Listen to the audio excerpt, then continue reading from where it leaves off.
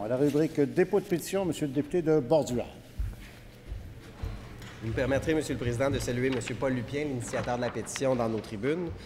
Je dépose l'extrait d'une pétition adressée à l'Assemblée nationale, signée par 114 pétitionnaires. Désignation citoyens et citoyennes du Québec. Les faits invoqués sont les suivants.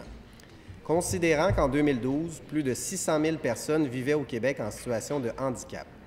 Considérant que l'accessibilité universelle est un principe qui sert autant aux personnes handicapées aux malades, aux personnes âgées, aux femmes enceintes et aux personnes avec poussette.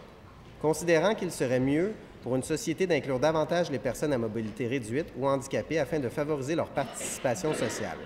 Considérant qu'il est souvent plus économique de bâtir des installations accessibles universellement plutôt que de les modifier par la suite. Considérant que les personnes handicapées ou à mobilité réduite doivent circuler été comme hiver.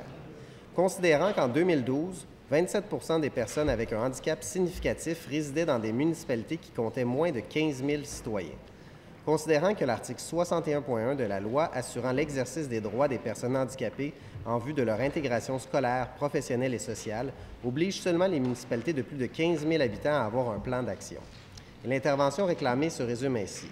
Nous, sous-signés, demandons au gouvernement du Québec de modifier l'article 61.1 de la loi précitée pour obliger l'ensemble des municipalités au Québec à avoir un plan d'action, d'encourager les municipalités à inviter une personne handicapée, un représentant d'organisme et un représentant du Centre intégré de santé des services sociaux de leur région à siéger sur leur comité de plan d'action, que les municipalités du Québec adhèrent à des normes communes pour le déneigement, l'entretien et le stationnement en tenant compte des personnes handicapées à mobilité réduite.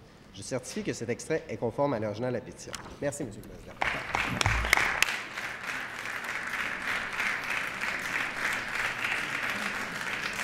Alors, l'extrait de cette pétition est déposé.